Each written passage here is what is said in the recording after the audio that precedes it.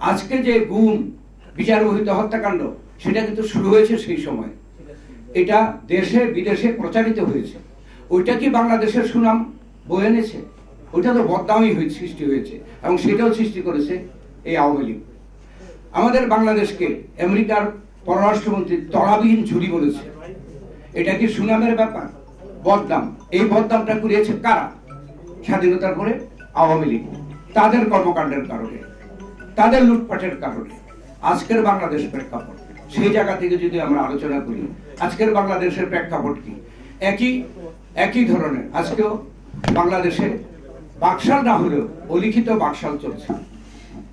গত চোদ্দ বছর গায়ের জোরে যারা ক্ষমতায় আছে, জনগণের ভোটকে ডাকাতি করে, ভোটের অধিকার হরণ করে, তারা গায়ের জোরে সরকারে আছে।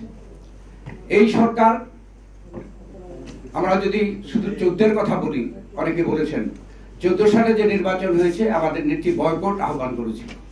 এবং সেই নির্বাচনে একশো তিপ্পান্নটি আসনে জনগণ বয়কট করেছিল, প্রার্থীরাও বয়কট করেছিল। শুধুমাত্র আওয়ামী লীগের একজন প্রার্থী ছাড়া সেখানে ছিল না। তাহলে যুক্তিটি কি দাঁড়ায়?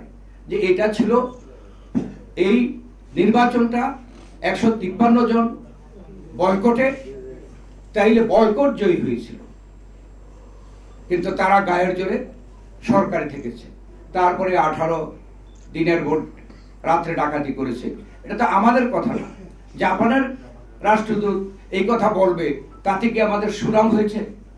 এই বদনাম কি বিএনপি বাংলাদেশের জন্য বয়ে এনেছে নাকি আওয়ামী লীগ?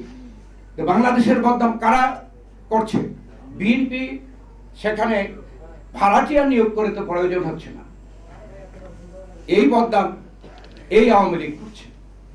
তারপরে লম্বা দেওয়ার সুবিধা নাই বলে আমি বর্তমানে চলে আসি। বাংলাদেশের রক্ষী বাহিনীর উপরে স্যাংশন দেওয়া হয়েছে নিষেধাজ্ঞা আমেরিকা। রক্ষী বাহিনীর উপরে। আরে সরি রক্ষী বাহিনী, র্যাব, র্যাবের উপরে। দুঃখিত, রক্ষী বাহিনীর কথা মনে পড়ে র্যাবের প্রায় একই একই কর্মকাণ্ডের জন্য তাদের আমেরিকা স্যাংশন দিয়েছে।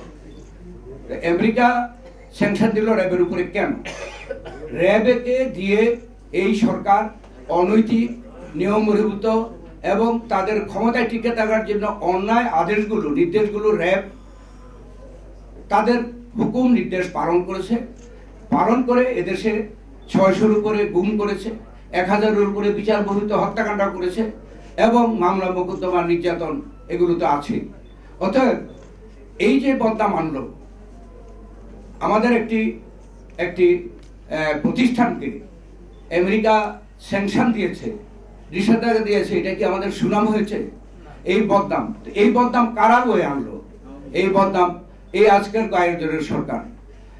এই স্যাংশনের মধ্যে সেনাবাহিনীর সাবেক প্রধান, পুলিশের সাবেক আইজি এবং সিনিয়র এই বিভিন্ন ছয়জন কর্মকর্তা সেই নিষেধাজ্ঞার অধীনে পড়েছে। এটা কি বাংলাদেশের জন্য কোনো সুনাম বয়ে এনেছে?